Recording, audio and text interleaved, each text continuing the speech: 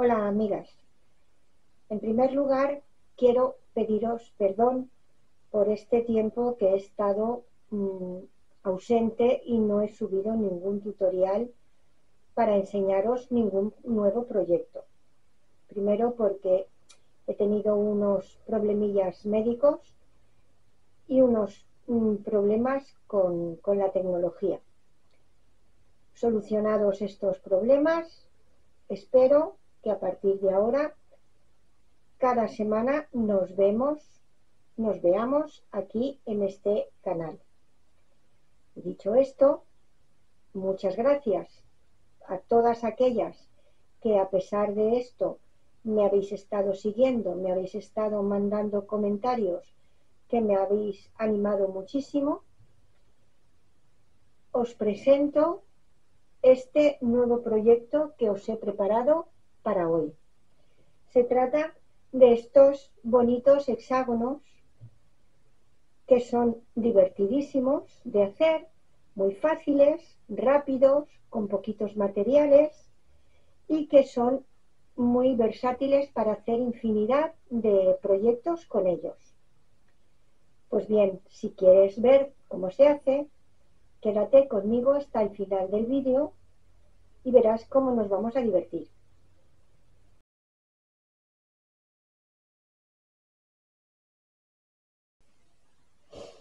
Mirad, para elaborar estos hexágonos tan divertidos como os he explicado, vamos a necesitar, en primer lugar, los dos patrones de dos hexágonos que ahora os explicaré cómo conseguirlos. Yo ya los tengo en acetato. Te aconsejo que los tengas en cartulina o en acetato porque se van a utilizar muchísimo. Echaremos mano también de esas bolsas o cajas que tenemos de retales, en este caso un poquito más grandes. También necesitaremos algunos retales pequeñitos para hacer alguna aplicación, como ya os explicaré más tarde. Necesitaríamos también estas telas tan bonitas que encontramos muchas veces, que podemos sacar, por ejemplo, en esta, estas caritas tan divertidas, o en esta, estas casitas tan bonitas para hacer alguna aplicación. Para ello necesitaremos el papel de aplicación o fliselina de doble cara. Y también necesitaremos una guata. Yo utilizo esta de algodón prensada que será como de unos 2 milímetros de espesor. Y como no, nuestros útiles de costura. Las tijeras, el marcador, alfileres y la máquina de coser y la, plancha, por supuesto. ¿Lo tienes todo preparado? Pues comenzamos. Mirad, para hacer los patrones de estos hexágonos, para hacer esta técnica, partiremos de la base de un hexágono. La medida os la dejo a vuestra elección. Este mío en particular mide 6 centímetros de lado. Tú puedes hacer la medida que, más te guste. Si lo haces este pequeño, lo haces un poquito más grande, pues lo puedes tener para hacer una labor más grande. Y si lo haces más pequeñito, pues para un trabajo más pequeño. Ahora para sacar el, el patrón del hexágono grande, lo que tenemos que hacer es guiarnos por este. Y lo vamos a hacer dos centímetros más grande que este. Para esto con, nos ayudaremos de la regla y pondremos la marca del 2 en la línea del hexágono y marcamos una línea por fuera. Y así iremos haciendo con todos los, los lados de este hexágono más pequeño. Comprobaremos que se crucen todas las líneas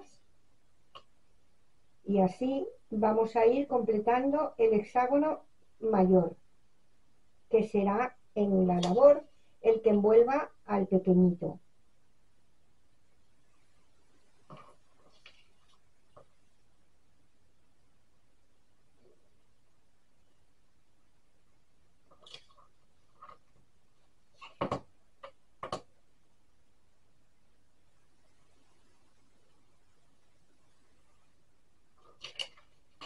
Una vez que ya lo tenemos, recortamos uno y otro y luego lo pasamos o bien a cartulina o bien a acetato. Mirad, ahora con el hexágono mayor vamos a ir recortando hexágonos de las telas que más nos gusten. Eh, tantas como necesitemos para la labor. En este caso, como va a ser solamente eh, explicar cómo se hace esta técnica, con estos dos tenemos suficiente. Después, con el hexágono pequeño, vamos a cortar telas que combinen con la, con la tela grande que hemos cortado primero y también cortaremos con el hexágono pequeño la guata, porque irá así de esta manera. La tela grande, la guata y la tela pequeñita. Y así podemos ir empezando a cortar y a hacer nuestros conjuntos de hexágonos. Una vez que tenemos todos los hexágonos grandes, los pequeños y los hexágonos de guata cortados, vamos a formar el hexágono final. Para eso tomaremos la tela del hexágono grande y le daremos la vuelta para que el revés, el derecho, perdón, quede hacia abajo, hacia la mesa. Encima colocaremos el hexágono de guata comprobando que en todas las esquinas coincida perfectamente.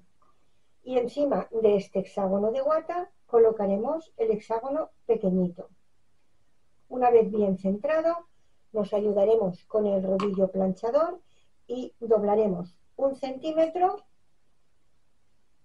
aplastaremos un poquito y lo volvemos el otro centímetro hacia el hexágono pequeño y así vamos a ir haciendo con todos los, laterales, comprobando que las esquinas quedan así, perfectamente formadas. Y sujetamos todos los laterales con alfileres hasta llegar al último lateral.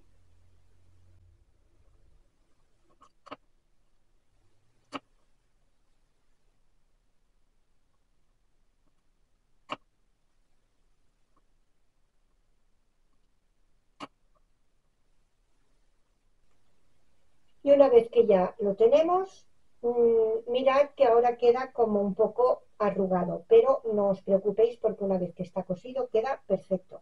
Ahora es porque está sujeto con alfileres nada más. Seguiríamos haciendo lo mismo con todos los hexágonos y nos disponíamos a hacer eh, el resto de la labor. Llegados a este punto es lo más divertido que hay de esta técnica y lo más creativo que os podáis imaginar, porque hay infinidad de maneras de terminar este triángulo final. Por ejemplo, en este caso, eh, yo voy a coser con una puntada invisible todo el hexágono.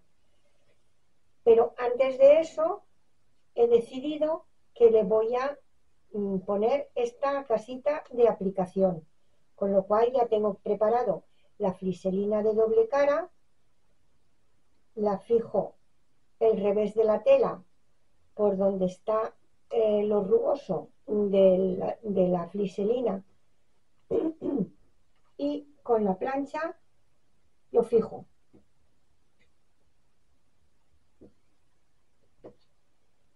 Lo recortaría, dejaría enfriar un poquito, mm, lo recortaría todo y con la misma plancha lo sujetaría aquí bien con un pespunte a mano o a máquina.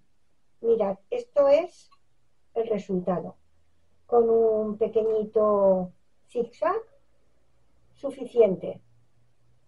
También podemos pasarle una puntada recta a todo alrededor También podemos hacerle una puntada decorativa que sea un poquito de zigzag, quiero decir, que tenga un punto que coja el hexágono de fuera y un punto con el hexágono de dentro.